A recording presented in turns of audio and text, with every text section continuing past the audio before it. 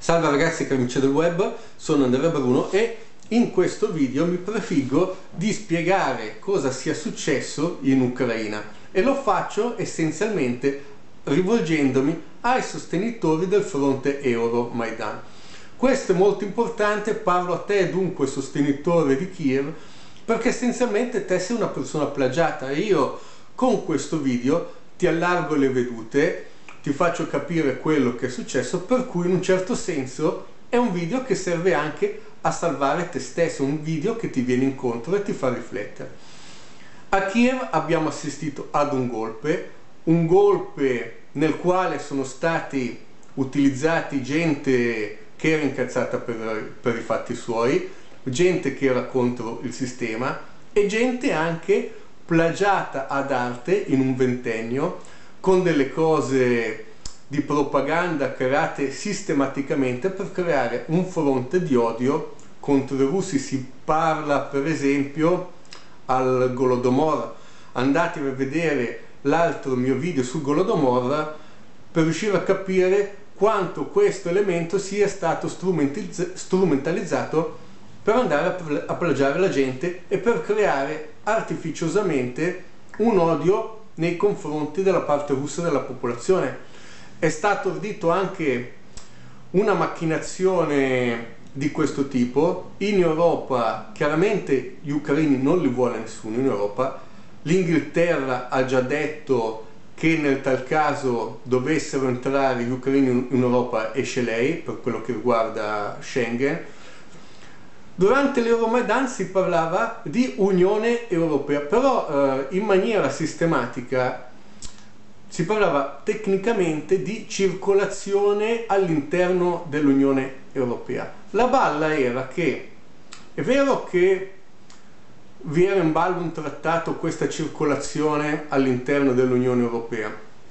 Di fatto era una, un trattato che riguarda esclusivamente la circolazione delle merci perché adesso dopo tutto quello che è successo guardiamo il sostegno da parte che ne so della Merkel della parte anche delle istituzioni europee verso l'Ucraina però nessuno apre le frontiere a questi ucraini. Per forza perché se aprissero le frontiere se ne scappano. E gli ucraini in realtà devono rimanere lì, lavorare come schiavi e questo accordo di libera circolazione delle merci serve solamente per prendersi a sbaffo gratuitamente le risorse dell'Ucraina, ma le persone devono rimanere là. Non si è mai parlato di un accordo di libera circolazione delle persone, però purtroppo io sono andato anche a ritroso a controllare nel, nei media asserviti al potere, alla Troika, che è lei che ha organizzato tutto questo, veniva fatto intendere come un accordo di libera circolazione delle persone che era in gioco un qualche cosa di questo tipo. In realtà è in gioco solamente la schiavizzazione del popolo ucraino, andare all'arrembaggio delle importanti e preziose risorse che può fornire questo paese. Tant'è anche che il Fondo Monetario Internazionale, ovvero un elemento della Troica, ha detto chiaramente noi daremo un aiuto finanziario, siamo pronti a finanziare e a creare un'iniezione monetaria sull'Ucraina, fermo restando l'integrità territoriale. Questo cosa vuol dire? È stato come andare a dire agli ucraini eh, andate ad ammazzare gli indipendentisti, eh, come dire io ti do i soldi però guarda che se qualcuno si tira fuori io i soldi non te lo do più. Sono, hanno, hanno per così dire incentivato una guerra e questo è quello che sta succedendo.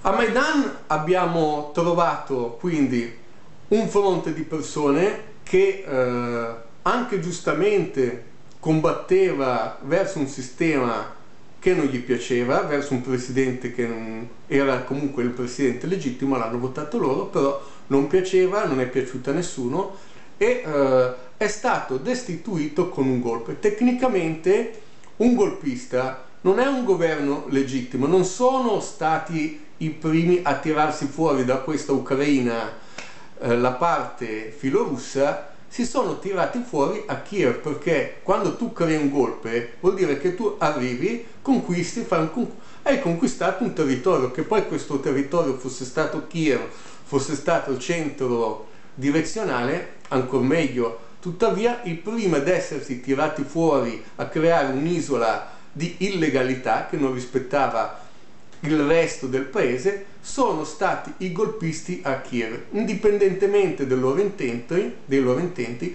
e anche tenendo conto del fatto che sono stati pilotati e sono stati sfruttati. Non è stata idea del loro sacco creare questo golpe a Kiev. Ci sono dietro delle persone preparate in camice bianco, dei professoroni che stanno a Washington e queste cose qui vengono studiate a tavolino, sono delle macchinazioni preparate in grande stile, fatte molto bene dal punto di vista tecnico, per cui la gente viene coinvolta e in maniera consapevole non sa di essere stata sfruttata perché l'intento americano è quello di togliere dall'egemonia geopolitica dell'influenza russa questa determinata area per farla rientrare nella propria, ma non per dargli una, un qualche cosa di libertà, ma un qualche cosa per schiavizzarli ed è un qualche cosa essenzialmente per andare all'arrembaggio e rapinargli delle risorse. E eh, è successo così ovunque sono arrivati gli americani, perché ovunque ci sono risorse loro arrivano e eh, sfruttano è successo in eh, Libia recentemente, è successo in Afghanistan recentemente, è successo in Iraq e non sarà la prima volta, succede ovunque vi sono risorse. E in questo caso l'obiettivo finale non è l'Ucraina, sarebbe la Russia perché la Russia, al pari di questi altri tre paesi che ho citato, è un altro paese che ha risorse energetiche, in primis petrolio e gas. Cosa, quindi, quindi ci siamo trovati dinanzi ad un governo illegittimo, eh, ovvero frutto di un golpe, il golpe non è una rappresentativa del paese perché essenzialmente nella maggior parte dei casi è la parte più incazzata del paese che molto probabilmente è anche una minoranza, può essere un 5%, un 10%, un 20%, comunque sia anche nel fatto qualora fosse una maggioranza, il golpe è sempre un qualche cosa di illegittimo. Se tu arrivi al potere che conquisti un governo e metti i tuoi rappresentanti e anche visto il fatto l'ingerenza di paesi esterni che è una cosa stando al diritto internazionale l'ingerenza sui fatti nazionali sarebbe un qualche cosa di aberrante. Se tu conquisti e eh, diventi un governo per così dire illegittimo non puoi pretendere che gli altri le altre località periferiche ti riconoscano. Sei già tu che ti sei ritirato fuori. Gli altri cosa fanno? Con un referendum hanno semplicemente ribadito il tirarsi fuori da un qualche cosa che dal punto di vista giuridico internazionale non sta in piedi, non ha senso. Si sono tirati fuori e anche perché cosa hanno fatto questi qui dell'Euromaidan? Una volta arrivati al governo, hanno fatto delle scorribande ed essenzialmente erano delle scorribande punitive verso chi non riconosceva la loro legittimità. È una legittimità che non, stata, non può essere riconosciuta a livello internazionale perché siamo davanti a un golpe. Sono andati ad Odessa, una città che è sempre stata russa, fondata da Ekaterina II, e hanno dato al logo delle persone, non è stato un senso di eh, civiltà, se volevano dare un input, un qualche cosa che eh, avesse spinto le altre parti eh, regionali a dire no io non mi riconosco verso queste persone perché sono degli assassini comunque, sono dei rivoluzionari ma non sono dei rivoluzionari in un certo senso pacifici, sono degli assassini che chi non la pensa come te viene fatto fuori la gente che è, saluta, che è salita sul carro degli assassini essenzialmente sono degli idealisti, è gente come i fanatici di una squadra di calcio. A un fanatico del Real Madrid tu non gli puoi spiegare che il Real Madrid essenzialmente è un qualche cosa che non c'entra niente col Madrid perché prendono i giocatori da tutto il mondo e sono una roba da fanatici è una cosa che a chi non gliene frega niente di calcio riesce a capire, è un qualche cosa che dice ma sì io guardo la partita perché mi piace giocare ma a me non me ne frega niente di questo o di quell'altro e eh, ci sono anche invece i fanatici, i tifosi che eh, sono dei fondamentalisti del sostenere una certa bandiera. Io tengo a quella squadra lì perché è la più bella e la più forte, non me ne frega un cazzo se gli altri dicono di no, se perdiamo, se vinciamo, noi siamo i migliori, questo a priori. E questa qui è la gente che sta sostenendo il fronte dell'Euro Maidan. Sono gente che essenzialmente sono su, su un carro di ideali, però hanno scelto un percorso, una strada che non è una strada legittima per poter andare a governare un paese. E la cosa più interessante è che non l'hanno scelto loro questo percorso, sono stati pilotati per andare a sovvertire l'ordinamento istituzionale dell'Ucraina. Ecco, questo è quello che, che è successo. Ci sono altri elementi da tenere in considerazione. Essenzialmente questa gente qui, questi sostenitori qui di Kiev, da dove arrivano? Da Kiev e Ivano-Frankovsk, da queste due località.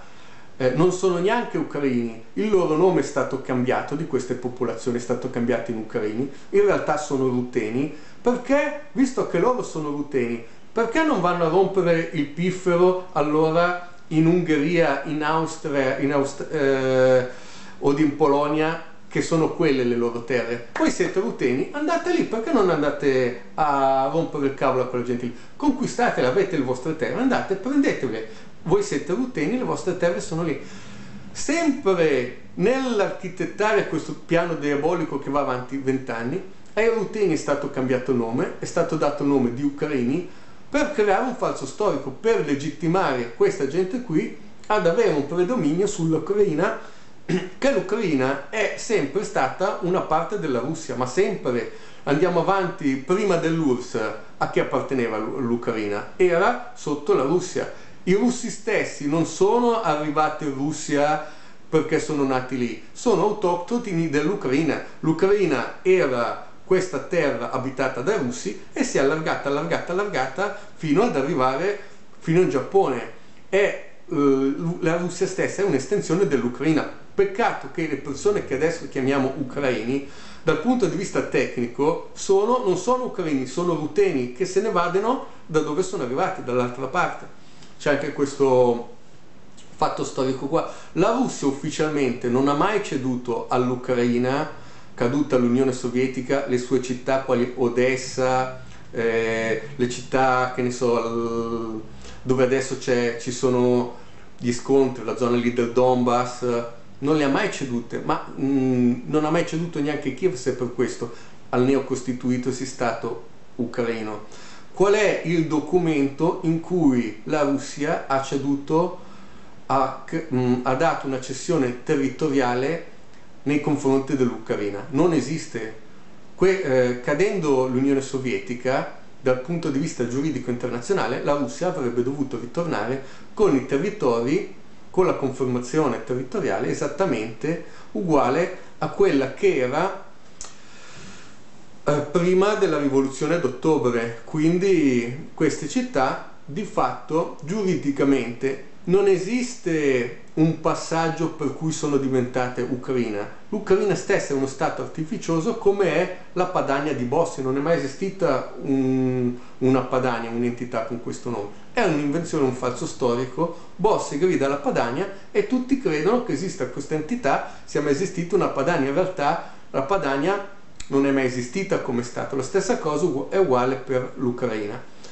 Ok ragazzi, spero di essere stato molto preciso, chiudo con una piccola riflessione, tutto quello che è successo adesso in Ucraina ha fatto riflettere tantissimi italiani, tantissimi europei, perché ci ha fatto capire che cosa siano i vertici dell'Unione Europea. Viviamo in una situazione in cui gli stati sono vittime, è stata tolta la sovranità nazionale dei singoli stati, vogliono fare la stessa cosa con l'Ucraina e abbiamo dei satrapi in cima alla piramide. in primis questa struttura economica finanziaria che è la Troica che dobbiamo cercare di abbattere. Questo è il, nuovo, il nostro nemico.